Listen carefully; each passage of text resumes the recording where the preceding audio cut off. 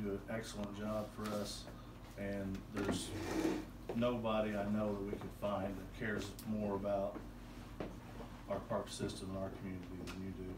And we just wanted to tell you thanks, and we appreciate everything you've done. Golf clap. All right, yeah. And Angie's got a short story to read them too, real quick.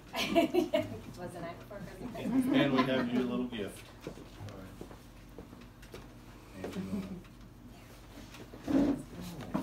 is from Cour- Courtney Blackwell's, um, family, they made it, so it's the, the city of Bedford and then all the parks.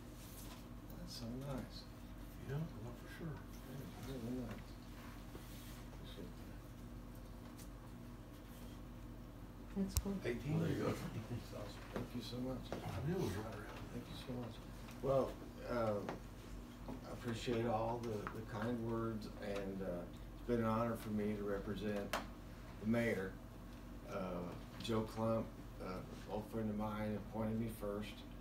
And then, uh, Shawna Girgis appointed me a few times, I suppose. And then, and then Mayor Craig. And I appreciate it. It's, uh, it's been an honor. I've enjoyed all the new friendships, uh, from the park directors who've always been great to work with, the staff here, Amber and Jordan and, and all the others who've worked with you. Uh, not just competent, but they really care. And I've always been proud, so proud of this, of the Parks Department. I love the parks, as Jimmy said, I love my community, I love the parks, and I appreciate you having me. And, uh, I know things will continue on great, and, uh, best of luck to all of you, but thank you very much.